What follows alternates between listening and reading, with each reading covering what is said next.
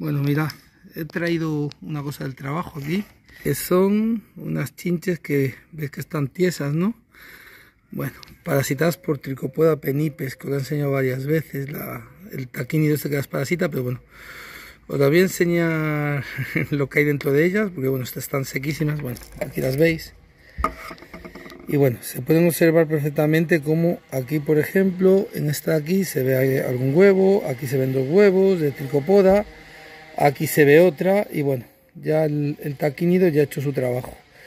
Ha cogido la nezada, se ha alimentado de ella por dentro y ya, ya está muerto. Cuando están así, posiblemente es que el taquínido ya esté en forma de pupa, que es lo que os quiero intentar enseñar. Voy a abrir alguna para que la veáis, ¿vale?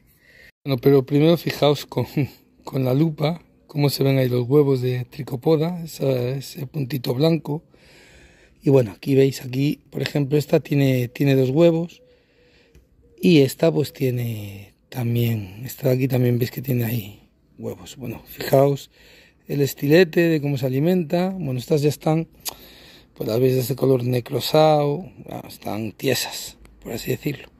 Venga, vamos a abrir una a ver qué, qué vemos. Bueno, pues las he descuartizado un poco y fijaos, no se ve absolutamente nada. Estaban huecas ya ya ha salido el, el parasitoide, a excepción de una que he encontrado, ti, esto aquí, una pupa de la tricopoda.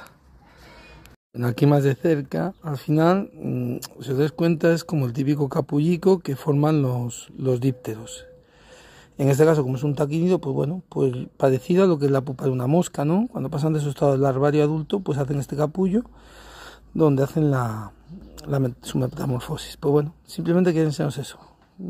Nezadas parasitadas y como es el capullico de la tricopoda penipes.